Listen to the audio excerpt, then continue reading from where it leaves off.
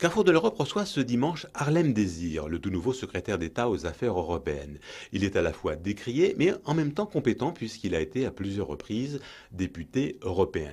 Il nous dira si Jean-Claude Juncker est le candidat de la France pour la présidence de la Commission européenne, et puis il nous expliquera aussi pourquoi ce désamour des Français à l'égard de l'Europe. Harlem Désir ce dimanche, Carrefour de l'Europe, en audio sur RFI et sur RFI.fr et en vidéo sur RFI Dailymotion.